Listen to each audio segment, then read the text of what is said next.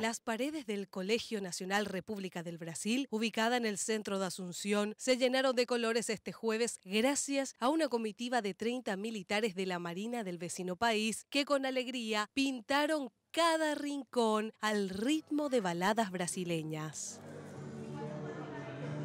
Solemos tener siempre apoyo de la embajada y esto, por ejemplo, no es la primera vez, son varias veces ya. Hace dos años que no teníamos el apoyo, pero ahora tenemos de vuelta. Un servicio social que hace la embajada a través de la flotilla del Mato Grosso, ¿verdad? que son buques, y ellos vienen a trabajar y llaman una asistencia social, pintura de todas las paredes y del patio.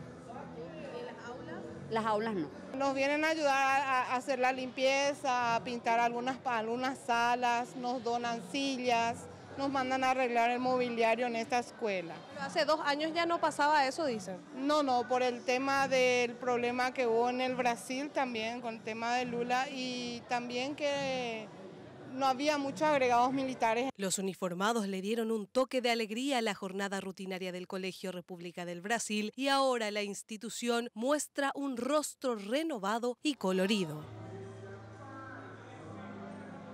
Los militares de la Marina del Brasil se quedarán hasta el sábado en Paraguay realizando trabajos similares en el Colegio Experimental Paraguay-Brasil gracias al aporte de la Embajada del vecino país.